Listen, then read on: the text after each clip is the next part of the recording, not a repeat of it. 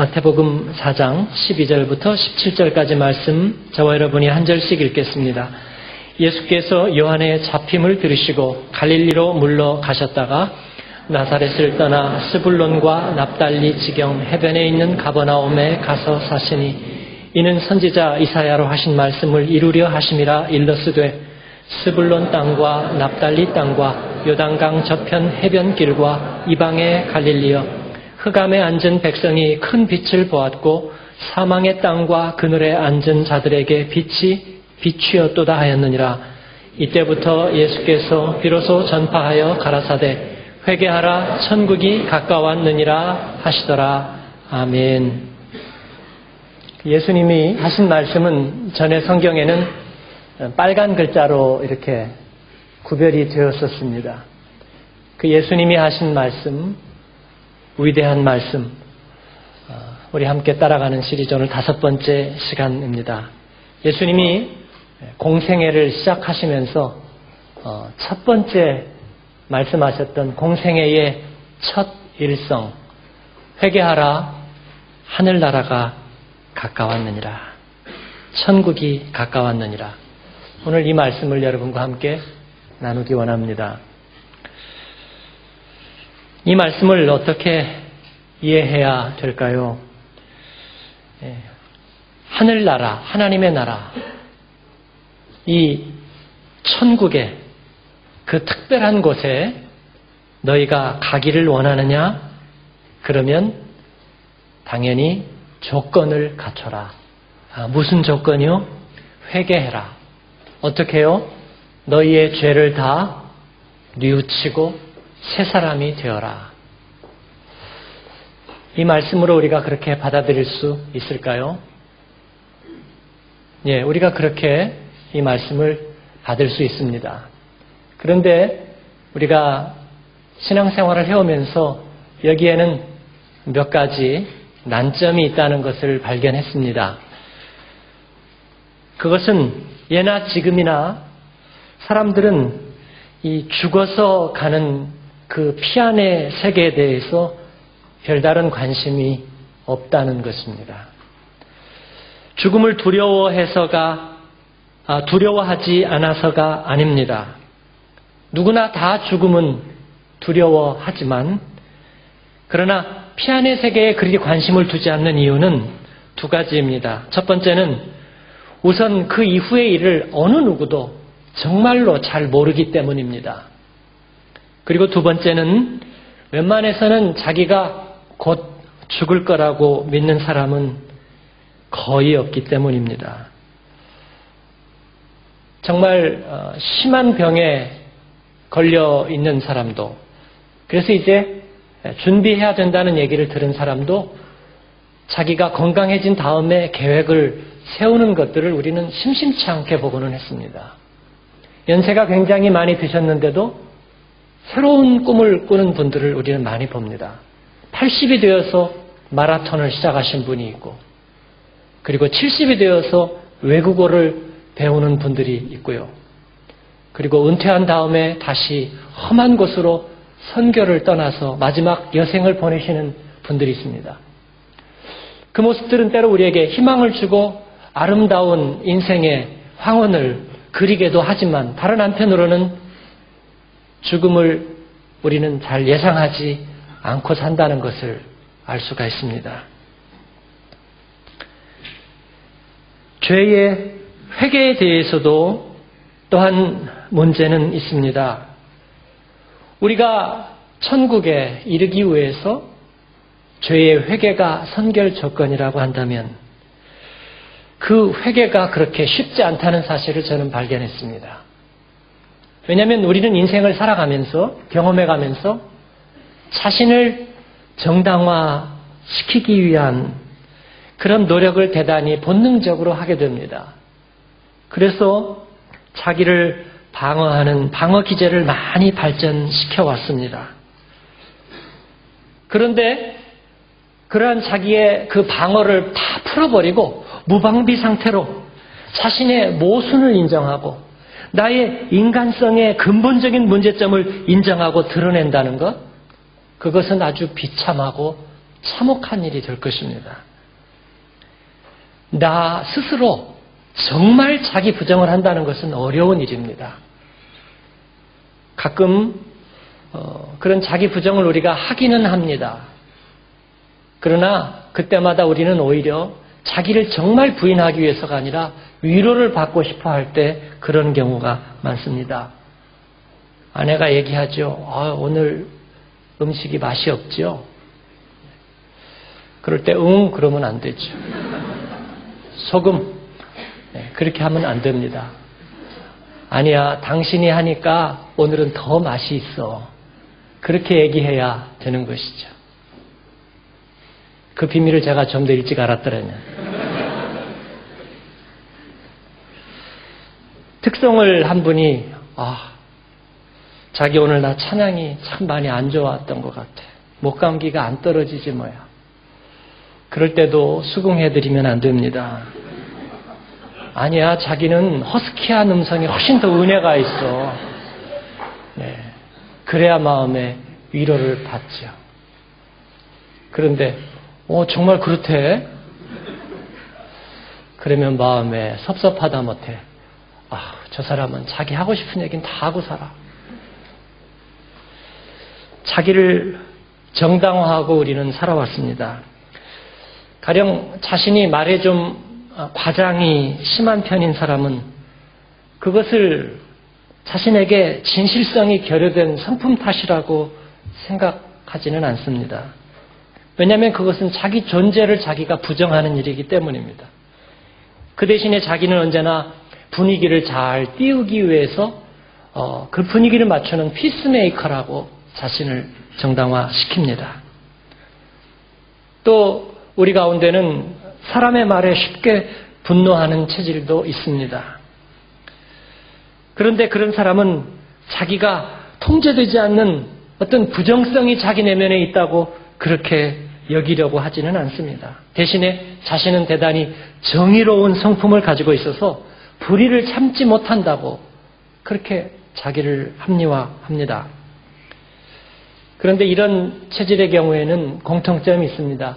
한결같이 자신은 뒤끝이 없다고 합니다.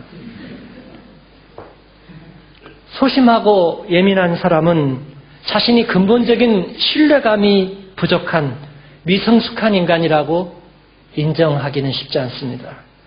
오히려 자신은 섬세하고 오히려 자신은 완벽주의 경향을 가지고 있기 때문에 자신은 언제나 손해볼 뿐이고 그리고 자기가 언제나 더 상처를 받는 편이라고 그렇게 스스로를 위로하는 것입니다.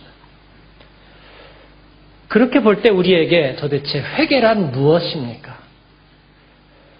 나의 존재 근거를 내가 스스로 무너뜨리고 부정하고 그리고 폭로하고 열어놓을 생각이 우리에게 없다면 우리는 끊임없이 자기를 변호하고 방어하고 살아가는 존재라면 우리에게 회개란 무엇이겠습니까?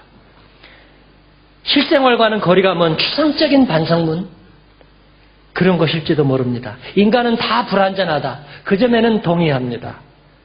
그래, 밖으로부터 오는 죄의 유혹 앞에서 우리는 무기력하다. 그 점은 동의합니다.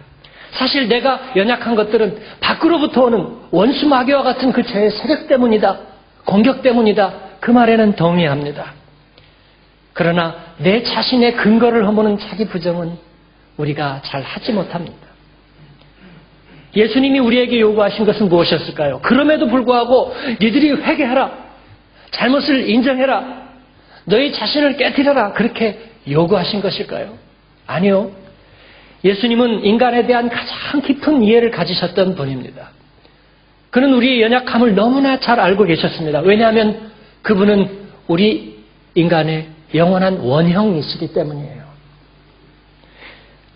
그분은 우리의 모든 문제는 사실 밖에 있는 것이 아니라 우리 안에 내재해 있는 우리의 인간성과 또 그 깊은 뿌리 속에 있는 그 영혼 속에 자리 잡은 죄성이라는 그 사실을 알고 계셨습니다. 그리고 그것을 우리에게 알게 하시기를 원하셨습니다. 그러나 우리에게 무턱대고 그 사실을 인정해라. 그렇게 하지 않으셨어요. 왜냐하면 그렇게 할 수 없다는 것을 아셨기 때문입니다. 그런데 예수님이 오늘 여기서 왜 그렇게 얘기하셨을까요? 회개하라. 성경에는 회개하라는 말에는 여러 가지 의미와 뉘앙스가 담겨 있습니다. 저는 오늘 이 말씀을 조금 풀었습니다. 회개하라는 말을 돌아서라. 그러는 말로 제가 풀었습니다. 그리고 하늘나라가 가까이 왔다. 그 말은 구원의 빛이 이르렀다. 그 말씀으로 바꾸었습니다. 예수님은 그들이 당장 회개한다면 모든 문제는 깨끗해진다. 그렇게 나이브하게 생각하지 않으셨습니다. 이것은 오랜 프로세스를 통해서 이루어진 일입니다. 예수님께서는 하나님 나라의 한 모습을 우리에게 보여주시려고 오셨습니다. 그래서 그분이 하나님 나라가 가까이 왔다는 것은 하나님이 사는 어떤 천국이 가까이 이르렀다. 그런 얘기가 아니라 하나님이 계획하신 어떤 그 때가 가까이 왔다. 그 얘기를 하려는 것입니다. 저는 옛날 시골 장터에서 공마단이나 이 경극단이 오는 것을 생각합니다. 혹시 여러분 어린 시절에 그런 경험을 하셨나요? 그러면 미리 삐에로가 앞장을 쓰고 북을 치고 동네를 도는 거죠. 북을 치면서 어, 기대하시라 기대하시라. 어, 개봉박도 눈물 없이는 볼 수 없는 바로 그때 그 시절 그 영화 혹은 또 그 극이 옵니다. 사람들이 기대를 가지는 것이죠. 예수님의 말씀은 바로 그런 이야기입니다. 하나님의 나라가 가까웠다. 하나님이 너희들에게 보여주실 바로 그 놀라운 일이 그때가 가까이 왔다. 기대하여라. 그리고 돌아서라.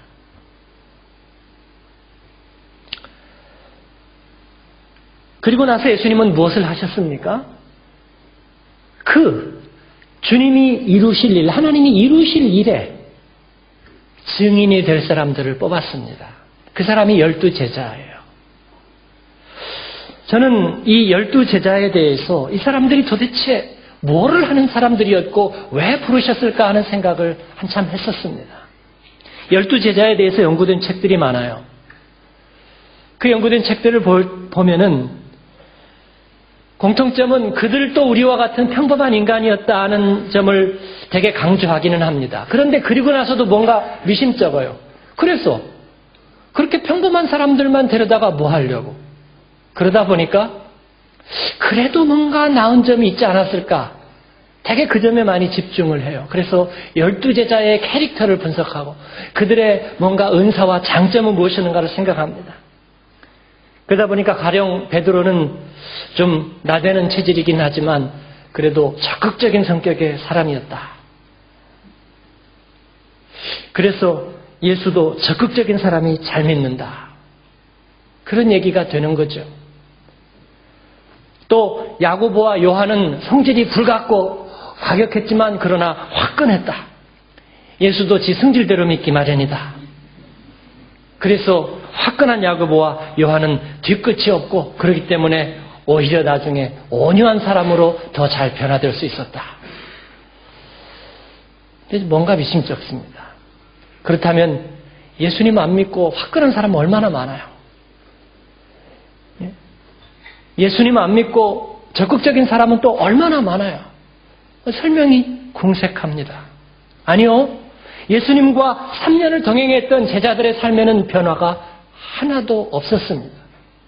그 수많은 가르침에도 불구하고 그들은 변화되지 않았습니다.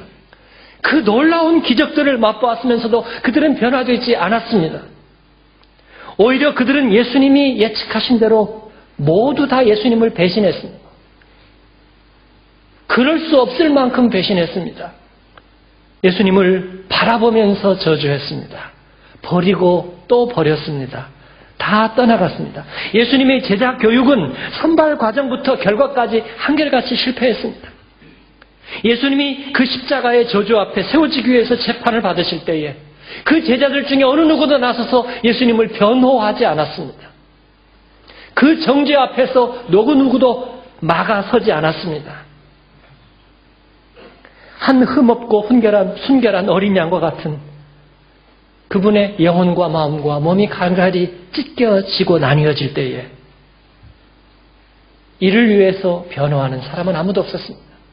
아니, 오히려 그 십자가 앞에서, 그 십자가 앞에서 모든 죄가 다 결집되는 현상을 우리는 보았습니다.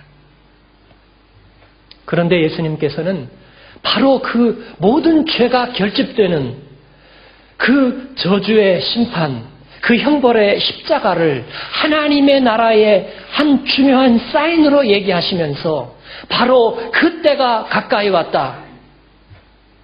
그렇게 오늘 얘기하고 계시는 것입니다. 죽어서 가는 피안과 우리가 기대할 수 없는 천국이 아니라 바로 내가 너희들 가운데 이 땅에 온 이유, 바로 그 십자가의 때가 가까이 왔다. 돌아서라. 그렇게 초대하고 계시는 것입니다. 그리고 먼저 12명을 초대했습니다. 그리고 저와 여러분을 초대했습니다. 왜?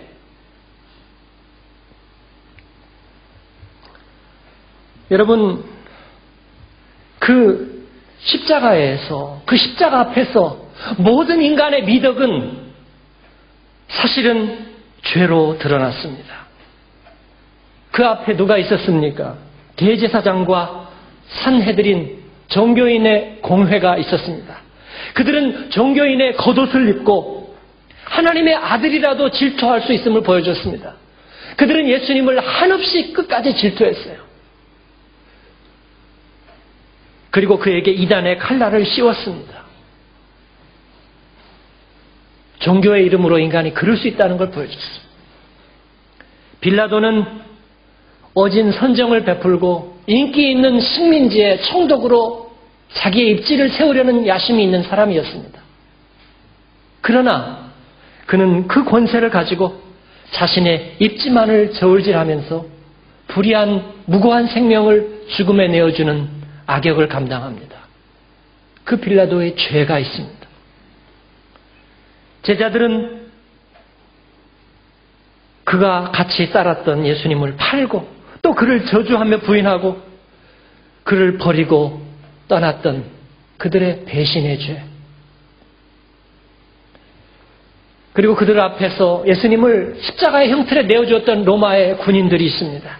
그들은 자신들은 수레바퀴 같은 생에서 그냥 조직이 시켰기 때문에 어쩔 수 없는 생의 명령이기 때문에 자기는 그렇게밖에 할 수 없다는 사실을 강변하듯이 나부로 달린 채찍으로 그 사람을 자기는 전혀 모르는 것처럼 단순한 하나의 기계적인 죄인인 것처럼 치고 또 치고 치면서 술에 취해 낄낄거리면서 마지막 속옷조차 그날의 재수를 점치며 제비 뽑는 모습을 우리에게 보여줍니다.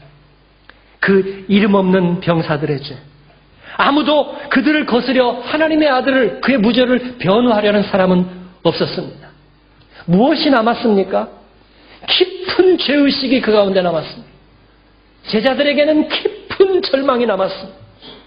우리는 스스로 회개할 수도 없다. 우리는 그럴 수조차 없는 인간이다. 그들은 이제서 깨닫게 되는 것입니다. 내가 사랑하지 못한 것이 죄가 아니라 나는 사랑할 수 없는 존재라는 것을 깨닫게 되는 것입니다. 그런데 예수님은 그 자리다 왜 우리를 초대하신 것입니까?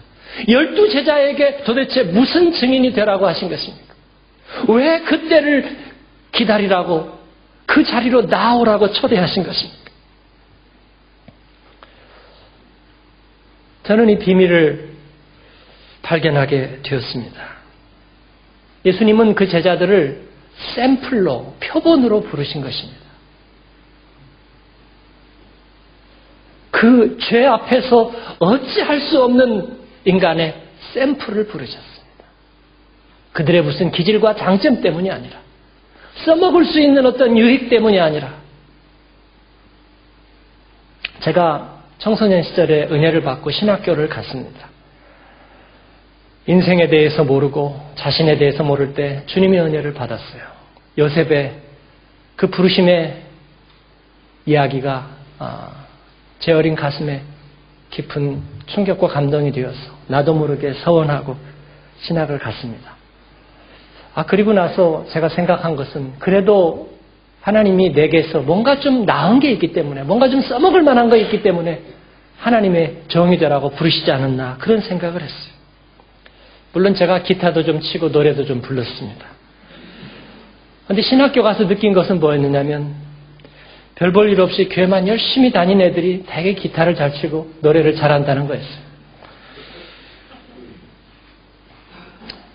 물론 제가 아, 말도 좀 하고 책도 좀 읽었다고 생각했지만 역시 교회 다니면 되게 말을 잘했습니다. 책을 읽은 척 많이 한다는 사실도 알았어요. 세상은 넓고 사람은 많았습니다. 저는 점차 제가 내세울 아무런 장점도 없는 그냥 또 뽑기식 표본의 하나에 불과하다는 사실을 깨달아야 됐습니다. 저는 이 사실을 인정할 수가 없었습니다. 부르심의 회의를 가졌습니다. 염세적인 생각에 빠졌어요. 그러면서 교회와 교회 지도자들과 교회 모습에 대해서 그 표면적인 모습에 대해서 절망하는 젊은 시절을 보냈습니다. 그러면서 염세적인 생각으로 이런 혼탁한 모습 속에서 나 한 사람이라도 빠져줘야 되지 않겠나. 그런 기특한 생각을 했어요. 내가 무엇을 할 수 있을까? 여러분, 그러나 제가 점차 점차 다시 깨달은 사실은 그것이었습니다. 제가 복음을 다시 만나고 하나님의 부르심을 두 번째 부르심을 다시 체험하고 그 하나님의 은혜를 다시 회복했을 때 깨달은 것은 이 십자가 앞에서의 제자들의 무기력한 모습이었습니다. 예수님은 바로 그 증인이 되라고 부르셨습니다. 그들은 자신에게 영적 생명이 없다는 것을 깨달아야 되었습니다. 그들은 자신들이 근본적인 죄인임을 깨달아야 되었습니다. 생명이 없기 때문에 그들은 죄를 이길 힘이 없는 것입니다. 생명이 없기 때문에 그들은 병을 스스로 이길 힘이 그 안에 없는 것입니다. 그들이 잘못한 일들이 무엇인지를 알고 돌이키는 것이 아니라 그들이 원래 잘못할 수밖에 없는 존재라는 것을 알아야 되었습니다. 십자가가 아니면 안 되었다는 것. 그 증인으로 그들은 부르심을 받았습니다.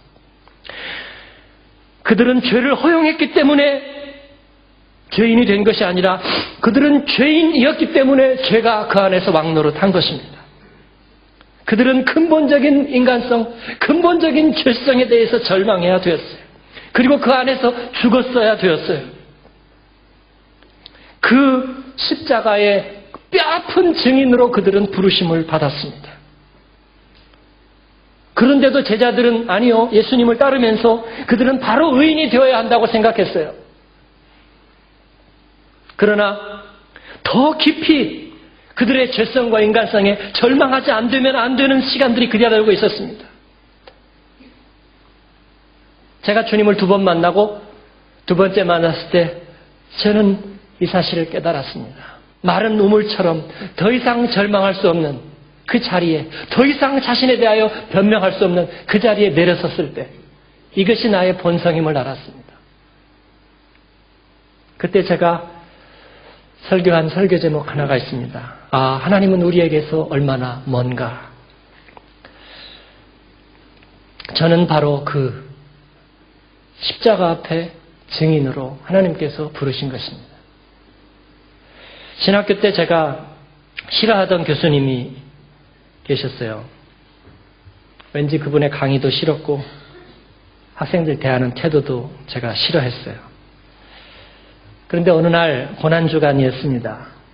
어, 학교 이제 기숙사에서 지내면서 학교 채플에서 새벽 기도를 하는데 그분은 학교 밖에 사시기 때문에 새벽 채플에는 잘 안 오시는 분이에요. 근데 그날따라 고난주간인데 그분이 오셔서 제 옆에 앉아서 예배를 드렸어요. 다른 교수님이 설교를 하시고 이제 같이 통성기도 하는데 그분이 제 옆에 앉아 있다가 아, 막 흐느껴 우는 거예요. 그 모습이 제게 당혹스러웠어요. 그리고 좀 저는 불쾌했어요. 이건 또 뭐야? 어? 이 나이에 또 감상적이기까지 한 거야. 올 생각하지 말고 강의나 좀 잘하지. 못됐죠, 참. 그분은 지금 세상을 떠나셨습니다. 그러나 세월이 지나면서 그 순간이 저에게도 찾아왔습니다. 저를 기다리고 있던 것은 점차 점차 의인이 되어가는 과정이 아니라 아직도 더 깨어지지 못한, 더 내려가지 못한, 더 깊은 심연이 저를 기다리고 있었습니다. 그 절망의 자리에서 저는 십자가를 다시 비로소 만났습니다. 저는 왜 나의 죄가 교만인지를 알았습니다. 사랑하지 못해서가 아니라 사랑할 수 없는 나를 깨달았습니다. 그러면서 끝없이 자신만을 인정하고 자신만을 변명하는 삶을 살았음을 알았습니다. 그곳에서 하나님은 진정으로 인정되지 못하고 있었음을 알았습니다. 그러나 그 깊은 절망 속에서 이상하리 많지 나는 비로소 나를 버릴 수 있었습니다. 부인할 수 있었습니다. 더 이상 지킬 체면이 없는 것을 알았습니다. 십자가 앞에 제자들처럼 말입니다. 비로소 저는 주님이 나를 무슨 증인으로 부르셨는지를 알게 되었습니다. 그때 나는 의롭다 하심의 의미를 알았습니다. 무죄 선언이 무엇인지를 알았어요. 이것은 삶에 이르는 병이었습니다. 주님이 저에게 그때 자유함을 주셨어요. 이제 나를 향해 돌아서라. 구원의 빛이 너에게 이르렀느니라.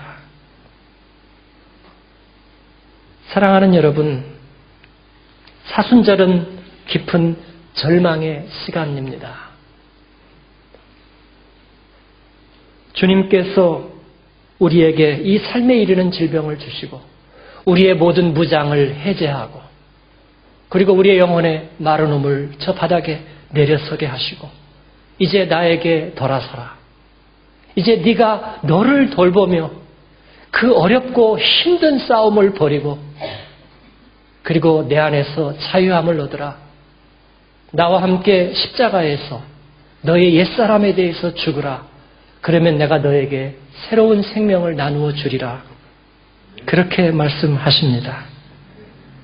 여러분, 깊은 절망을 거친 사람에게는 자유함의 눈이 뜨이는 법입니다. 저는 그리스도인은 두 부류로만 구별합니다. 죄에 대하여 절망하고 죽은 사람과 아직 죽지 않은 사람 두 사람만이 있습니다. 주님이 우리에게 얘기하십니다. 나와 함께 십자가에서 네가 너에 대하여 못 박혀 죽었는가? 그렇게 되기를 원하는가? 사랑하는 여러분, 우리가 그 십자가 앞에서 깊은 죄에 대한 절망과 함께 그 주님의 구원의 은혜를 향해서 돌아설 때에 주님께서는 우리에게 삶의 방향을 바꾸어 주시고 새로운 지향성을 주시고 삶의 새로운 모티브를 주시고 그리고 자유한 삶을 저희에게 허락하십니다. 물론 그 이후에도 저희가 옛사람의 흔적을 다 지워내지 못했습니다. 여전히 예전처럼 교만하고 때로는 어리석고 때로는 정욕의 유혹에 사로잡힙니다. 그럴 때 어떻게 합니까? 그러나 이전과는 다릅니다. 이제는 죄에 대하여 죽은 자처럼 처신할 겁니다. 그럴 때마다 자신을 들여다보고 자신을 지키려고 애쓰지 않을 것입니다. 자신을 변명하고 자신에 대해서 해명하면서 두려움의 영에 사로잡혀 살지 않을 겁니다. 하나님 앞에서 나를 내어 드릴 것입니다. 십자가 앞에서 나를 폭로했던 그때처럼 주님 앞에 나를 다 열어 드릴 것입니다. 나의 나된 것은 어차피 하나님의 은혜입니다. 나는 주님 은혜의 표본인 뿐입니다. 주님 나를 그렇게 써주셨어. 바울 사도는 나의 약한 것만을 사랑한다고 얘기했습니다. 나는 죄인 중의 교수입니다. 만물의 찌꺼기 같은 자였습니다. 이전에 내가 사랑하고 섬기던 것들은 다 배설물과 같았습니다. 그러나 나는 아무것도 부끄럽지 아니합니다. 나는 이 복음을 부끄러워하지 아니합니다.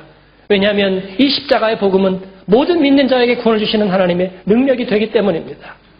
나를 이 모델로 부르신 하나님을 찬양합니다. 저는 인간성이 부족하기 때문에 여러분이 다 알고 계시는 것처럼 목사가 되기 어렵다고 생각했습니다.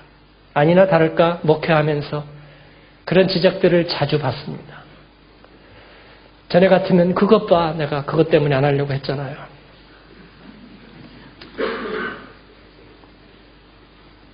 보기만 해도 사랑이 넘치고, 보기만 해도 은혜가 되고, 보기만 해도 위로를 받는 그런 사람이 저는 못 되잖아요.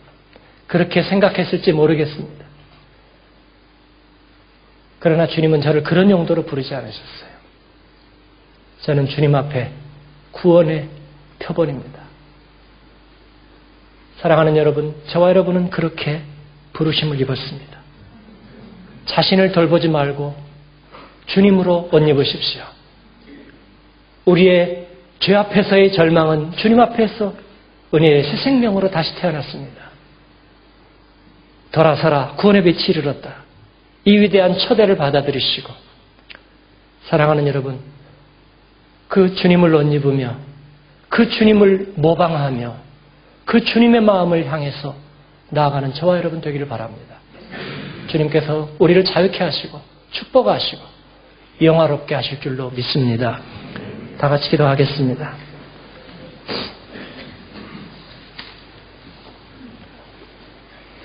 우리 같이 오늘 말씀 앞에 우리가 기도로 응답하며 이 말씀을 다시 주님 앞에 응답으로 올려드리기를 원합니다.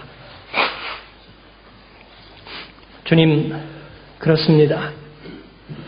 내가 죄인 되었을 때에 주님은 나에 대한 사랑을 확증하셨고, 내가 주님 앞에 온전히 항복할 때까지, 내가 더 이상 나를 변명할 이유를 찾지 않을 때까지, 주님은 그 십자가 앞으로 인도하셨고, 그곳에서 나의 형벌을 대신하셨습니다. 그리고 나를 값주고 사셨다고 하셨습니다. 하나님, 이제 내가 자유하기를 원합니다. 나를 돌보지 않고 주님을 보겠습니다. 주님의 은혜 안에서 하나님 내 삶을 드린 자로서 살겠습니다. 주님 나를 도와주소서. 나를 영접해 주소서. 주님의 초대 앞에 응답하는 기도로 나아가겠습니다. 기도하십시다. 하나님 아버지 감사합니다. 오늘도 주께서 죄를 향하여 말씀하시고 하나님 도와주심을 감사드립니다. 하나님 만물의 찌꺼기와 같은 하나님 죄의 한 표본에 불과한 하나님 허위와 거짓으로 이루어졌던 하나님 목적 없고 방향 없던 인생을 주님께서 사랑하시고 구원하여 주셨습니다. 처음 믿은 시간이 귀하고 주님 구원의 시간을 내가 잊지 못하고 주님 내 안에서 이루신 주님의 일을 찬양합니다. 이제 비로소 하나님 주님 앞에서 내가 회개합니다. 하나님 나의 교만과 어리석음을 회개하고 하나님 나의 나된 것이 하나님의 은혜임을 고백하고 하나님 세상의 육신의 정욕과 안목의 정욕과 이생의 자랑 앞에 하나님 눈멀었던 어리석은 순간들을 회개하고 하나님 주님은 의로우십니다. 하나님 그 모든 행하신 일들이 하나님 나를 살리게 했고 하나님 주님 앞에 엎드리게 했습니다. 오늘 그 주님의 천대 앞에 응답하고 하나님 주님 앞에 마음을 여는 사랑하는 주의 자녀들을 주님의 품에 안으시고 하나님 씻어주시고 자유케 하시고 온전케 하여 주옵소서 예수님 이름으로 감사하며 기도드리옵나이다. 아멘.